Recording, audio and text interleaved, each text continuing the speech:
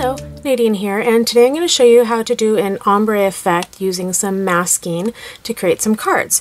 I'm going to be using the Kaleido, in Fresh Greens from Imagine, the Versamark, and some gold in emboss powder, and then also a big jumbo dauber. So to get started, the first thing I did was using my Creative Station Lite from Xyron and using the repositionable adhesive, I just ran a scrap piece of paper through and this is how I make my mask.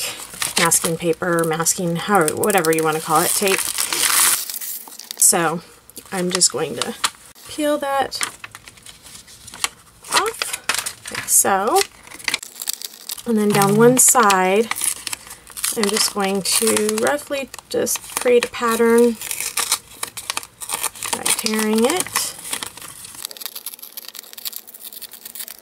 And then on my card, just going to lay it down on one side. Like that. So now that the extra is hanging off the edge, I can make my paper so it stays right there. And then using the Kaleidacolor, and the dauber. I'm going to start on the lighter end. The Kaleidacolors, you can slide them together so the colors are all together or apart. Right now it doesn't really matter, so I'm going to keep them apart. And going like half and half, where I'm getting a little bit lighter and a little bit darker. The darker one up. And then I'm just going to run it up like this on the card.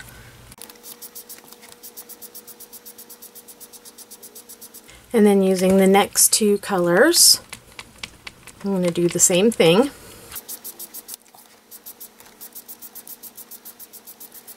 And then just can repeat the process all the way to the end.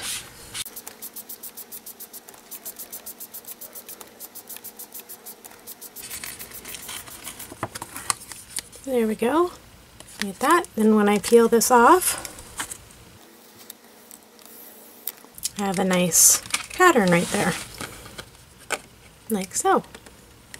Okay, so now for the next one that I'm going to show you, a different way of doing it. The same thing, I ran the scrap paper through the Xyron Creative Station Lite, and then I punched three different, or die cut three different size circles out of it. So, let me peel this off. And then just lay this down on the front of my card. Like so. And then doing the same idea, I'm just going to go sideways, kind of at an angle on the circles.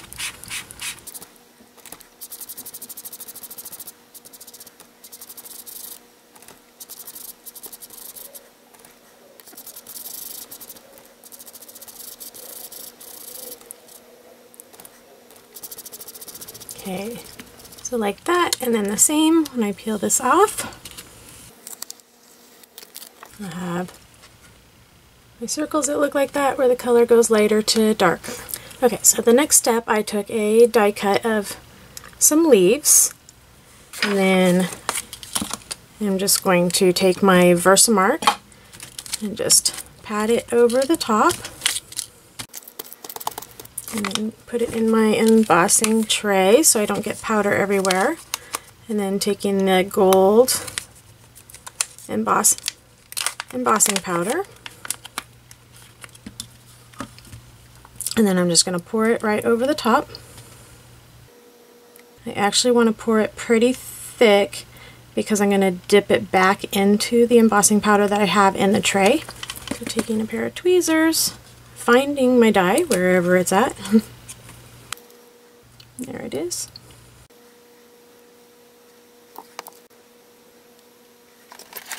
And I'm going to heat set it. And then while it is still hot, I'm going to dip it back into the embossing powder that I have over here.